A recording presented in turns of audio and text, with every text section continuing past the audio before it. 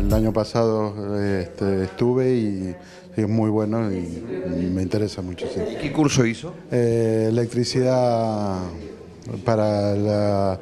¿Domiciliaria? no, la electricidad para... mm, ¿Matricularse? Matricularme, sí, para el ERSAT. ¿Y ahora quiere hacer usted un nivel superior? Exacto, exacto. Eh, como una salida laboral. Matrícula profesional del ERCEP. Ya tengo la matrícula sobre electricidad domiciliaria y bueno, quería hacer el otro. ¿También esta, esta capacitación la recibiste aquí en la Universidad Barrial? Eh, no, lo hice a través de la municipalidad. En diseño de confección. ¿Ya ha tenido oportunidad de conocer de qué se trata? ¿Ha venido tal vez años anteriores? No, no, no, no. Pero vengo a anotarme ahora, por primera vez. Eh, electricidad. ¿Ya tiene conocimiento de electricidad? Y más o menos, sí. Sí, sí, sí. ¿Cree que es esta una buena oportunidad? Sí, más allá de eso vengo por necesidad. O sea, es, es la verdad, digamos. Vengo más, más que todo por necesidad, la familia, los gastos que tenés hoy en día y todo eso.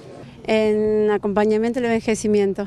¿Viene por iniciativa propia o porque tal vez alguien le comentó acerca de su experiencia en la Universidad Barrial? No, lo vi en el Facebook publicado y hace rato tenía ganas de emprender una carrera, entonces decidí venir a informarme. ¿Cuáles son, por lo menos, algunos de los talleres los más concurridos, los más seleccionados? Los talleres que estamos, que son los, desde que se inició Universidad Barrial, son principalmente electricidad, instalación de aire acondicionado, panadería, costura, preparador físico. Algunos de los talleres, son más de 20 los talleres. ¿Cuáles son los requisitos que debe reunir todo aquel que desee concurrir? No, ningún requisito, solamente tienen que traer la fotocopia del DNI y el DNI. ¿Tiene un costo?